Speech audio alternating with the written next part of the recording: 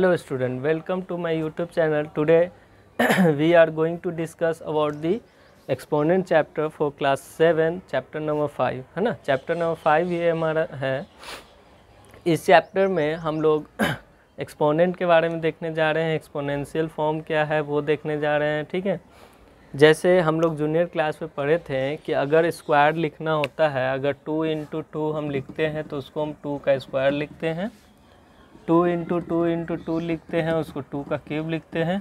Two into two into two into two, इसको two the power four लिखते हैं, है ना?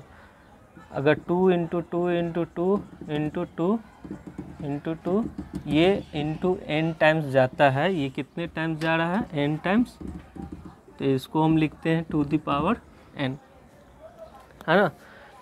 तो यहाँ बात हम करते हैं कि ये जो हमारा टू यहाँ पे है, ये क्या है? बेस है। और ये एन जो है, वो क्या है? एक्सपोनेंट है। या इसी को इंडेक्स इंडेक्स भी कहते हैं। नहीं तो पावर भी लोग कहते हैं। ठीक है? तो और इस फॉर्म को कहते हैं, जैसे टू दी पावर एन है है ना? या ए टू पावर एन है बी टू पावर एन है, ये हमारा जो सब होता है, ये एक्सपोनेंशियल फॉर्म होता है। क्या होता है? एक्सपोनेंशियल फॉर्म तो एक्सपोनेंशियल फॉर्म हम समझ गए पावर किसको कहते हैं एक्सपोनेंट किसको कहते हैं बेस किसको कहते हैं, ये भी बात हम समझ गए। तो यहाँ पे अगर बोला जाए हमको कि एक क्वेश्चन आपको दे दिया जाए कि express the following into exponential form तब हम लोग क्या करते हैं? जैसे two the power three into two the power three into two the power three into two the power three तो बहुत बच्चे इसको two into two into two into two लिखेंगे divided by three into three into three into three लिखेंगे, है ना? तो इसको बच्चे लोग sixteen divided by eighty one लिखेंगे। ये एक्सपोनेंशियल फॉर्म नहीं है। एक्सपोनेंशियल फॉर्म उस फॉर्म को कहते हैं जिसमें पावर आ जाए, है ना? जैसे टू दी पावर कितना हो जाएगा फोर और थ्री टू पावर कितना हो जाएगा फोर इसको हम two by three to the power whole power four लिख सकते हैं। ये हमारा एक्सपोनेंशियल फॉर्म होगा, ठीक है? उसी तरह अगर निगेटिव नंबर दे दे minus two into minus two into minus two इस तरह कुछ नंबर है तो बहुत बच्चे लोग इसको माइनस एट लिखेंगे। तो ये एक्सपोनेंशियल फॉर्म नहीं है। एक्सपोनेंशियल फॉर्म क्या होगा? Minus two the power cube ये आपका क्या हो गया? एक्सपोनेंशियल फॉर्म ठीक है? तो मल्टीप्लाई करके वो इवेलुएट हो गया, है ना? हमको क्या क्वेश्चन कर रहा है? Express the following into exponential form अगर एक्सपोनेंशियल फॉर्म में दिया हुआ वैल्यू ये तो फ़र्स्ट टाइप का हो गया क्वेश्चन अगर सेकंड टाइप का देखा जाए, आपको क्वेश्चन कहेगा कि इवेलुएट कीजिए एक्सपोनेंशियल टू सिंपलेस फॉर्म है ना? Evaluate the following. है ना? मान के चलो एवेलुएट द फॉलोइंग बोल रहा है। क्वेश्चन नंबर वन अगर two the power four divided by eight to power two है है ना? तो यहाँ पे हम क्या लिखेंगे? Two into two into two into two लिखेंगे divided by eight into eight लिखेंगे। अगर कटेगा तो हम काट सकते हैं, ठीक? तो वन बाई फोर आंसर हो जाएगा। ठीक? तो ये हुआ इवेलुएट है ना? ये एक्सपोनेंशियल फॉर्म नहीं हुआ। Minus two divided by minus three का होल पावर फोर। तो इसको माइनस माइनस कट जाएगा यहाँ पे और two the power four divided by three to power four लिख सकते हैं, ठीक है? तो ये हमारा क्या हो जाएगा? Two into two into two into two divided by three into three into three into three, है ना? तो टू टू जा फोर फोर टू जा एट एट टू जा सिक्सटीन, थ्री थ्री जा नाइन और नाइन थ्री जा twenty seven and three eighty one ठीक? तो सिक्सटीन बाई एट्टी वन आपका ये हो गया। अब हम लोग मूव करते हैं अपने लॉ लॉज ऑफ़ एक्सपोनेंट पे।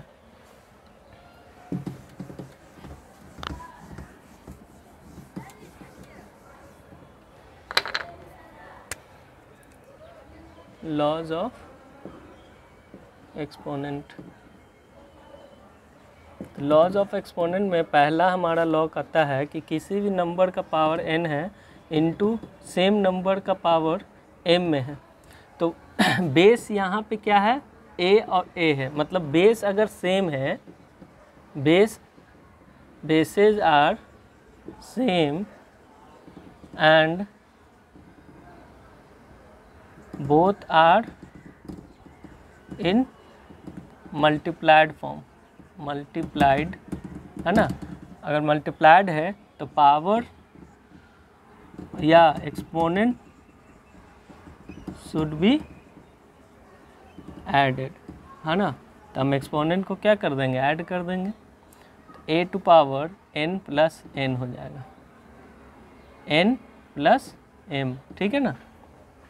इस पर एग्ज़ाम्पल देख लेते हैं। फॉर एग्ज़ाम्पल अगर हम लिखें five to power four into five to power three तो ये क्या लिखाएगा? Five to power four plus three ये क्या हो जाएगा? फाइव टू पावर सेवन अगर क्वेश्चन है three to power four into three to power minus two है ना? तो देखो माइनस से हमको मतलब नहीं है पावर निगेटिव उससे हमको मतलब नहीं बेस सेम है और दोनों क्या है? मल्टीप्लाइड में है। तब हम क्या करेंगे? पावर को ऐड कर देंगे। ऐड कर देंगे। यहाँ पे देखोगे प्लस माइनस माइनस हो जाएगा। Three to power four plus minus two ये क्या हो जाएगा? Three to power four minus two ये थ्री का स्क्वायर हो जाएगा। This can be written as nine है ना? तो इस तरह हम लोग पहला लॉ का इस्तेमाल करेंगे डिफरेंट डिफरेंट क्वेश्चंस में। ठीक है? सेकेंड लॉ पे आते हैं। ये तो मल्टीप्लाइड का केस हुआ। सेकेंड केस होता है कि अगर सेकेंड केस है, अगर ए टू पावर एन है divided by a to power m है। मतलब इसको हम इस तरह भी लिखा जा सकता है। देखो ये कहने का मतलब कि इसको तो हम लिखते हैं a to power n minus m तो ऐसा क्यों लिखते हैं, सोचो। कि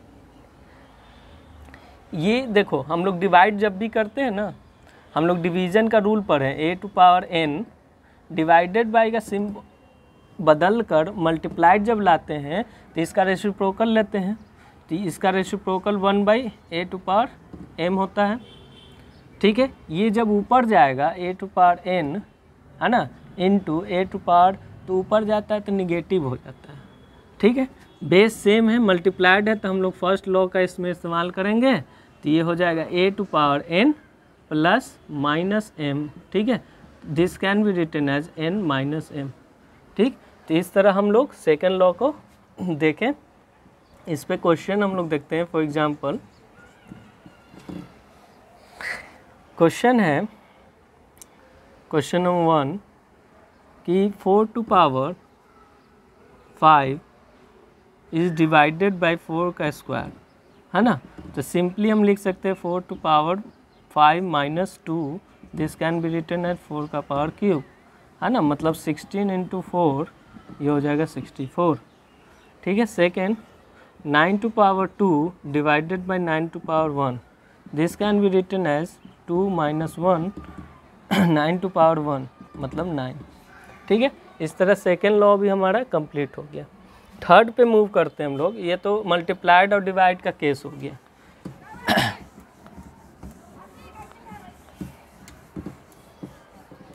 थर्ड है हमारा, अगर a to power minus n है this can be written as a to power n कब डिनोमिनेटर में जाकर। अगर डिनोमिनेटर में निगेटिव है माइनस एम है तो ऊपर जाएगा तो क्या हो जाएगा? पॉजिटिव हो जाएगा। डिवाइडेड बाई वन तो ये बहुत ही इंपॉर्टेंट बात है, इसको ध्यान दीजिएगा। फोर्थ में आ जाए आ जाते हैं। A to power n is मैंने ए टू पावर एन है, उसका पूरे पे क्या है? पावर एम है है ना? तो इस कंडीशन में पावर क्या हो जाता है? मल्टीप्लाइड हो जाता है। ठीक? फिफ्थ फॉर एग्जांपल देख लो। सिक्स टू पावर स्क्वायर का होल क्यू है ना?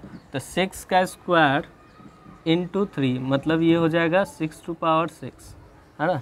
आप सॉल्व करके देख सकते हैं, दोनों का वैल्यू इंडिविजुअली सॉल्व कर दीजिए। छत्तीस का क्यूब कर लीजिए या छः का क्यूब छः का टू पावर सिक्स कर लीजिए, दोनों का वैल्यू सेम आएगा, है ना? उसी तरह ए टू पावर ज़ीरो रहेगा, उसका वैल्यू वन होता है। तो इसको प्रूव किया जा सकता है, जैसे five to power zero sorry इसको हम इस तरह लिख सकते हैं फाइव का पावर वन माइनस वन मतलब कि अगर किसी नंबर में से उतना ही नंबर को हम घटा दिया जाए मतलब सब्ट्रैक्ट कर दिया जाए तो वैल्यू कितना हो जाता है? ज़ीरो मतलब हम वन में से वन को घटाएँगे तो पावर क्या हो जाएगा? ज़ीरो अगर हम हंड्रेड में से हंड्रेड को सब्ट्रैक्ट करते हैं तो क्या हो जाएगा? पावर ज़ीरो मतलब यहाँ ज़रूरी नहीं है कि हम वन माइनस वन किए तो आप भी वन माइनस वन कीजिएगा। आप यहाँ पे टू माइनस टू कर सकते हैं थ्री माइनस थ्री कर सकते हैं फोर माइनस फोर कर सकते हैं, है ना? या इसको नहीं सॉल्व करके a to power n minus n भी कर सकते हैं। क्या कर सकते हैं? एन माइनस एन कर सकते हैं। अब देखो, एक लॉ हम लोग पढ़े हैं, जैसे a to power n into a to power minus n लिख सकते हैं इसको। लिख सकते हैं ना? क्योंकि देखो, हम लोग ऐड करते हैं तो एन माइनस एन आ जाता है। है ना? अलग किए मतलब एक लॉ हम लोग पढ़े A to power N into A to power M इसको जब हम करते हैं तो ए प्लस हो जाता है। अगर A to power N into A to power minus M है तो इसको अगर हम करते हैं तो A to power N minus M हो जाएगा। तो सेम है है ना? एन माइनस एन था तो अलग किए तो क्या हो गया? A to power N into A to power minus N है ना? इसको लिख सकते हैं हम ए टू पार एन देखो जब न्यूमरेटर में निगेटिव पावर में रहे तो उसको नीचे लाते हैं तो क्या हो जाता है? पॉजिटिव हो जाता है।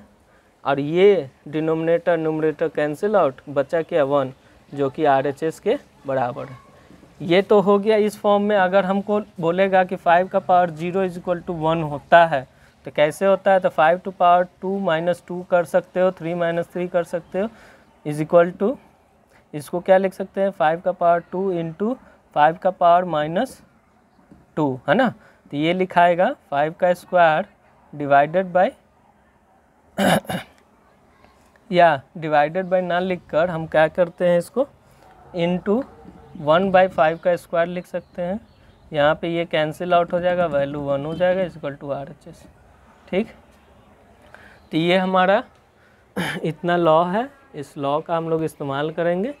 फर्दर क्वेश्चन बनाने में। ठीक है? हम लोग कुछ क्वेश्चंस को बनाते हैं अभी।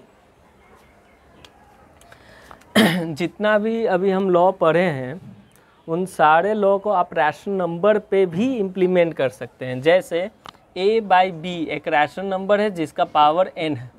Is multiplied with another rational number that is A by B same base का, और पावर एम है तो इसको हम लिख सकते हैं ए बाई बी का पावर एन प्लस एम, ठीक है ना?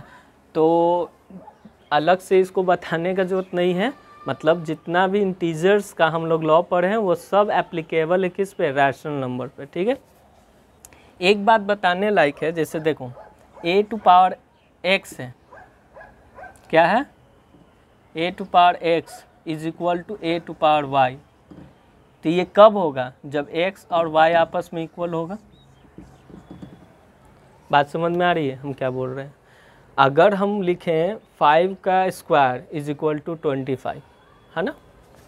फाइव का square is equal to twenty five इसका मतलब फाइव का square is equal to five का स्क्वायर लिखेंगे। तो बेस सेम तो पावर भी इक्वल होना चाहिए। तो इस पे एक क्वेश्चन हम बनाते हैं। अगर two the power N is equal to sixteen हम लेते हैं तो हमको यहाँ पे फाइंड द वैल्यू क्या निकालना है? फाइंड द वैल्यू ऑफ़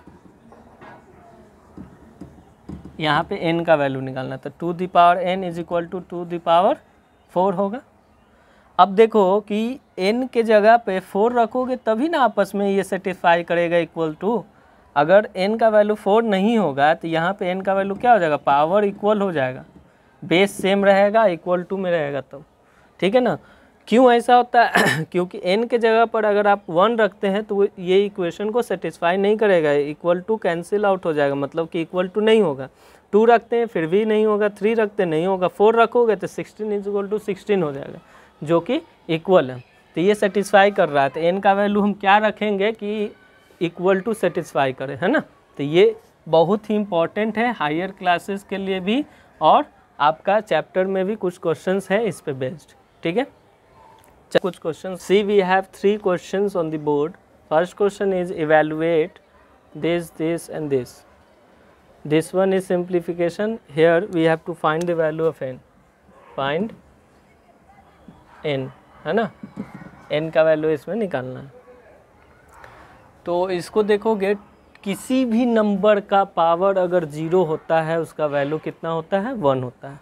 किसी भी नंबर का पावर अगर ज़ीरो है, उसका वैल्यू कितना होगा? वन तो to the power zero is equal to one plus three to power zero is equal to one this is equal to two ठीक?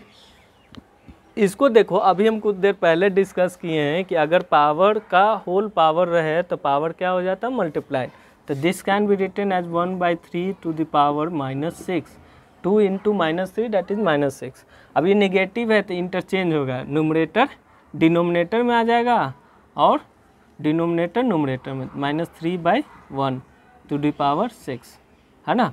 और इसको सिंप्लीफाई कर दोगे, जो आएगा डैट इज़ योर आंसर यहाँ पे सिंप्लीफाई कर ले।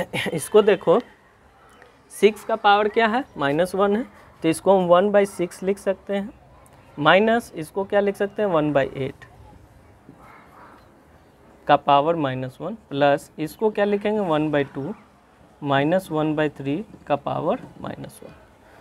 अब यहाँ पे देखो, एलसीएम आप ले सकते हैं। आठ, एट एंड सिक्स का एलसीएम अगर हम लेते हैं फोर्टी एट तो ये एट माइनस सिक्स हो जाएगा, पावर माइनस वन।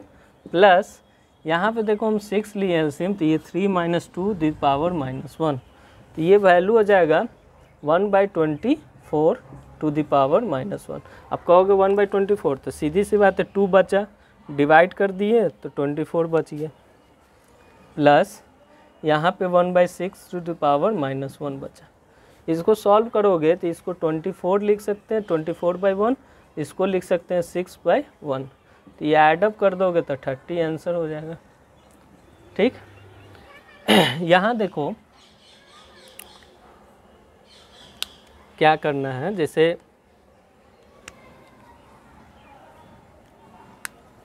इसको हमको सिंप्लीफाई करना है। है ना? Simplify ten into five to power N plus one plus twenty five into five to power N है ना? अब देखोगे कि यहाँ जो कॉमन है उसको हम निकालेंगे। क्या करेंगे? कॉमन है, उसको निकालेंगे। सबसे पहले हम ten into five to power N into five to power one लिख सकते हैं। क्योंकि एडअप है ना, देखो पावर जुटा हुआ है तो हम अलग अलग लिख कर इंटू कर दिए। प्लस ट्वेंटी फाइव को फाइव का square into five to power N लिख सकते हैं। Divided by three into five to power N into five का square plus ten into five का पावर एन इंटू फाइव का पावर वन। तो बहुत बच्चे लोग यहाँ ऐसे ऐसे काट देंगे। ठीक है ना? वो नहीं करना है। ठीक है ना? क्योंकि मल्टीप्लाइड फॉर्म में नहीं है, यहाँ पे प्लस साइन है तो आप काट नहीं सकते इसमें हम फाइव का पावर एन तो कॉमन है, यहाँ भी है और यहाँ भी है। इन टू फाइव का पावर वन भी कॉमन है। तो ऊपर क्या बचा? टेन बचा।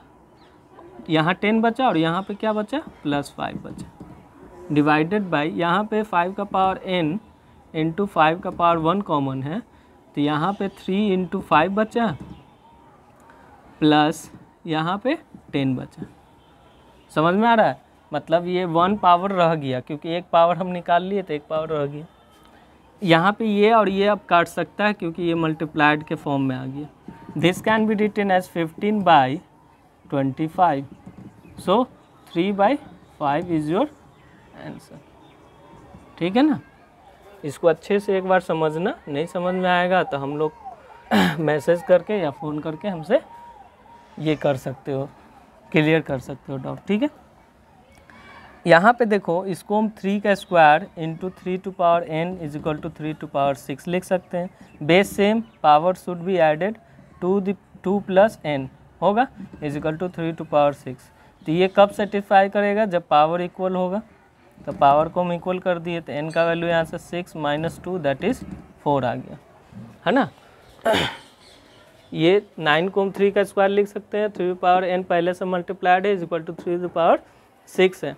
तो थ्री का स्क्वायर प्लस एन लिख सकते हैं। जब बेस सेम है पावर बेस सेम है और मल्टीप्लाइड फॉर्म है तो पावर को ऐड कर दिए। तो ये कब सेटिस्फाई करेगा? जब पावर इक्वल हो जाएगा। तो two plus N is equal to six N का वैल्यू क्या हो जाएगा? Six minus two is equal to four, ठीक है? तो यहाँ पे हम इंड करते हैं इस वीडियो को और आप लोग को एक्सरसाइज दिया जाएगा, उस एक्सरसाइज को बनाइएगा, ठीक है? Thank you class